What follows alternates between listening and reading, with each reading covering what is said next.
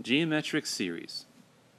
Each term in a geometric series is the previous term multiplied by a constant, and we have this wonderful formula. A sub n means if you want to find a specific term, n being the term number, a sub 1 is the first term in the series, r is the rate that it's increasing, the number you're multiplying to get to each term, and then the exponent is always one number less than the term you're trying to find. Number five, what is the next term after 1 half in this geometric sequence?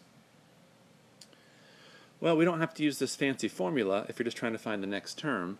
To get to 2 to 1, what would you multiply by 2 to get to negative 1? Well, you'd multiply it by negative 1 half. To get from 1, from negative 1 to 1 half, you'd also multiply by negative 1 half. So to figure out the next term in the series, sequence, we're going to multiply the 1 half by negative 1 half. That's going to give us negative 1 fourth. So to sum up, multiplying each term by negative 1 half to get to the next term, so 1 half times negative 1 half is negative 1 fourth.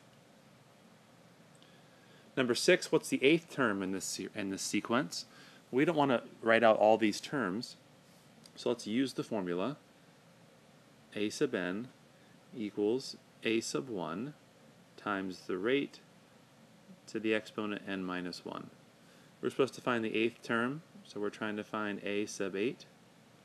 It's going to be equal to a sub 1. a sub 1 is the first term, which is a 4, times the rate. Well, 4 times 3 is 12, 12 times 3 is 36. So we're multiplying by 3 each time. So it's 4 times 3 to the n minus 1 n is 8, so n minus 1 is going to be 7. So it's 4 times 3 to the 7th. 3 to the 7th is 2187. Multiply that by 4, you get 8748, which is answer D. Number 7 on July 1st, 1990, the population of Geronsfat was 50,250. Starting population. The first number in our sequence is 50,250. If the population is increasing at an annual rate of 8.4%, so let's talk about that. To get from one number to the next, we're going to multiply by 108.4%. Because the population doesn't become 8.4% of the previous population. You got the entire population plus 8.4% more. So this rate is 100% of the population plus an additional 8.4%, which as a decimal is 1 and 84 thousandths.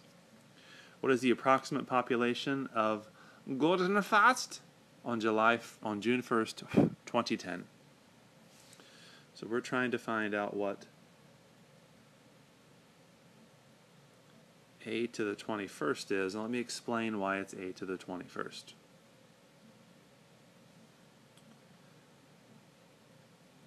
If 1990 is a to the first,